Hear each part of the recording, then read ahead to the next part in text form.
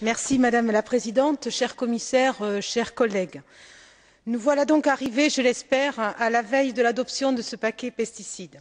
Les deux textes de compromis qui seront soumis au vote de notre Parlement m'apparaissent équilibrés et méritent d'être soutenus, et cela à plusieurs titres. Les avancées pour les producteurs et les utilisateurs sont notables simplification des procédures d'autorisation à travers notamment la division en trois zones et la reconnaissance mutuelle qui l'accompagne. J'aurais souhaité n'avoir qu'une seule zone pour garantir encore plus de cohérence sur le territoire de l'Union, mais les États membres se sont révélés un peu trop frileux. Des exigences de formation accrues tant pour les vendeurs que pour les utilisateurs. Mieux connaître et mieux manipuler les pesticides est un gage de meilleure protection de la santé, mais aussi de gains économiques. Les avancées pour les protecteurs des animaux sont aussi notables, notamment par le partage des données issues des tests sur les animaux. Les avancées pour la protection de la santé et de l'environnement sont très significatives. À terme, les substances les plus dangereuses seront remplacées par des substances moins nocives. Je ne peux m'empêcher d'aborder la question si polémique des perturbateurs endocriniens.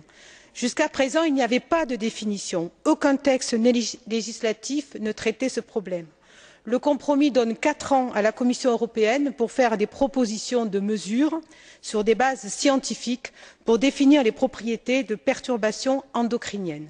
cette définition scientifique permettra de classer les produits suivant leurs effets perturbateurs ou non et de facto apportera à l'industrie le cadre légal scientifique qu'elle réclame. Le texte de compromis tient compte aussi de la question des abeilles et de leur rôle indispensable dans l'écosystème je pense en effet que la rédaction trouvée dans le compromis associé à la déclaration de la commission européenne constitue une avancée majeure. les effets des substances actives sur l'ensemble du développement de l'abeille seront pris en compte mais aussi sur le nectar et le pollen.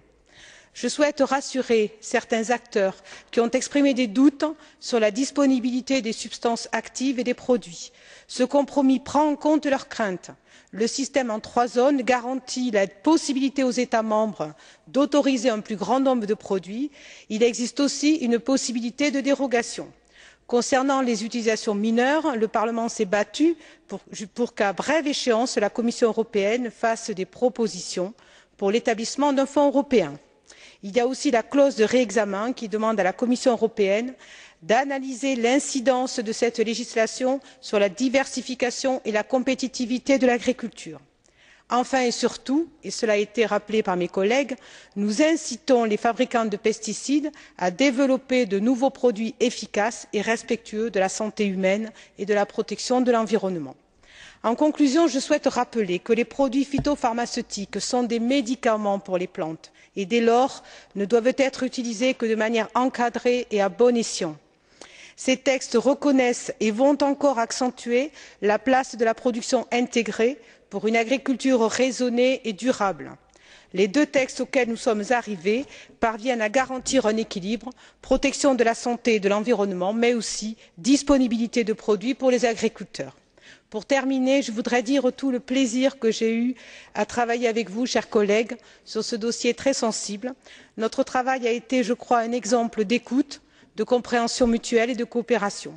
merci chers collègues et bravo en particulier à nos deux rapporteures mme klass et mme reyer qui ont été d'excellentes négociatrices lors de la recherche du compromis avec le conseil.